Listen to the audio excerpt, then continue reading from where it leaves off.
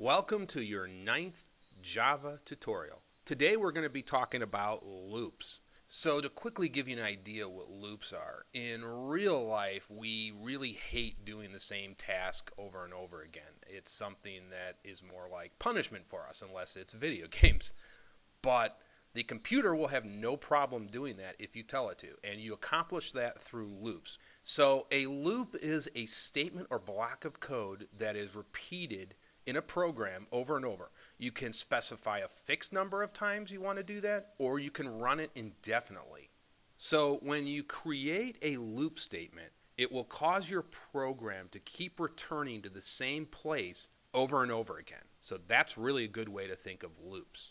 In Java, there are three types of loop statements that you can create. There is the for loop, the do loop, and the while loop. We are going to be dealing today with the for loop.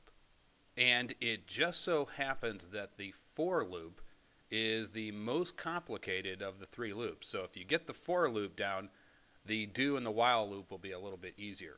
So to kick off the for loop, we type in the keyword for. You can see it turns to blue because it's recognized by Java. And then we're going to type in an open parenthesis there are three parts to a for loop that you need to be concerned with. There is the initialization section, the conditional section, and the change section. And we will go over all three of those parts.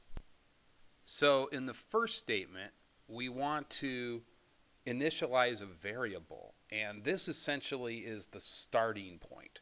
This is where we're actually declaring the starting point. So let's call this, uh, let's give this an int we'll say start and we'll say this is equal to 5. We'll start it at 5.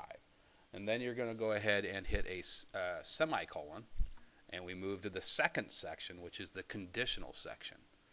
And the conditional section essentially tells us when to end this for loop.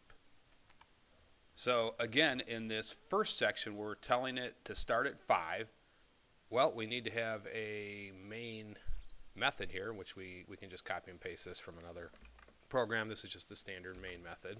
And let's get a closing squiggly bracket. Okay, so let's move on to the second parameter now, or the second section within this for statement that we've defined.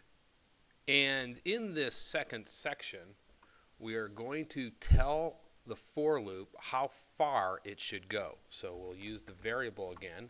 We'll use the less than and equal sign and we'll say to 50.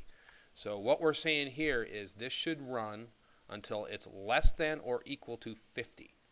And basically it'll go to 50. So we're going to start at 5 and end at 50. The third section is called the change section. And this is where we're specifying what to do each time this loop runs one time.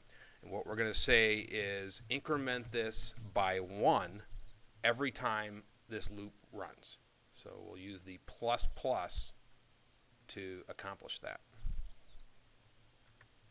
And before we run this, let's actually, this is going to produce too much output. So let's, let's change the first uh, section to a 0 and the middle section let's switch that to a 10 and then we're going to do a system out dot print and let's just print out the variable and now we will run this and we should get and you'll see here it printed out all the numbers 0 1 2 3 4 5 6 7 8 9 10 it stopped at 10 because we said no greater than 10 so or less than or equal to 10 so we said stop there, do not go to 11, and it did. And so that's how that works.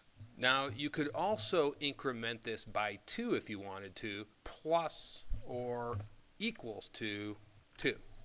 And if we run this again, you'll see we get a little bit. So you can see down here it incremented it by 2 each time. So instead of, so we did 0, 2, 4, 6, 8, 10.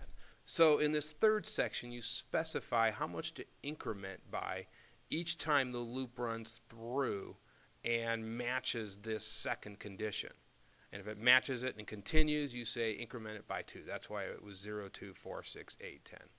And that is it for the for loop. I will see you in the next tutorial.